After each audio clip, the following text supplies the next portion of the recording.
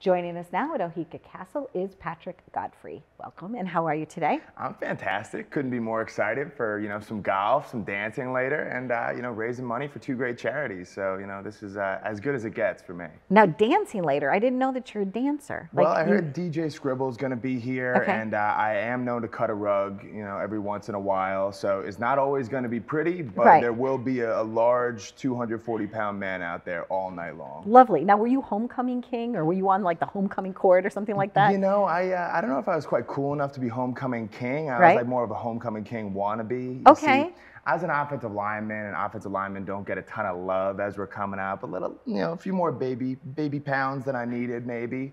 But um, you know, you get the last laugh. Uh, you do, because so. now you're looking very nice, and uh, you're married. You have a beautiful family. So tell us about that. How how did love come about? Um, so I really uh, I owe a lot to Clemson University, but um, number one on my list is really meeting my wife. Um, I met her when I was a junior in college, still playing college football, so I was about 285 pounds, and uh, I'm sitting out of my balcony one night, and uh, I see this beautiful girl running by.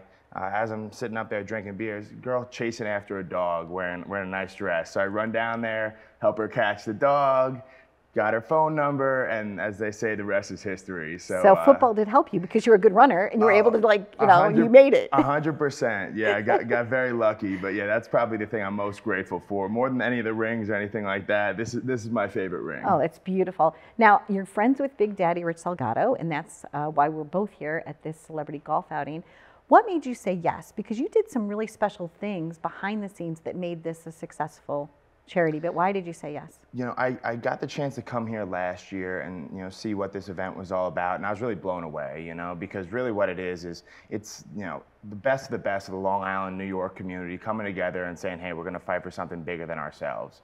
Um, so when Rich reached out to me and asked if I'd consider being a, uh, a, board member this year, I was I was blown away and honored to begin with, and I said, you know, hell yeah, what what can I do? So one way I stepped up is I've got a little bit of graphic design skills just from playing around, uh, you know, on my couch, um, and, and stepped up in that way. But but really, you know, when you look at the kind of charities we're supporting today, being Kids Need More and Pop Earth, um, it's really really bigger than us. And it was very easy to do all this amount of work knowing, hey, this is going to have a really great ends for a lot of kids, hopefully, out there whose lives are going to be immeasurably better because of the work being put in here today. Patrick, thank you so much. And you also drove kind of far, right? You, yeah, you, were in North Carolina. Yeah, what was your drive like coming I, up? I had a wedding in North Carolina on Saturday night, so I got got back around midnight, woke up around five hours later, humped it up here, and uh, you know I was a little bit tired along the way, but being at Oheka Castle makes it all 100% worth it. Now, how's your golf game?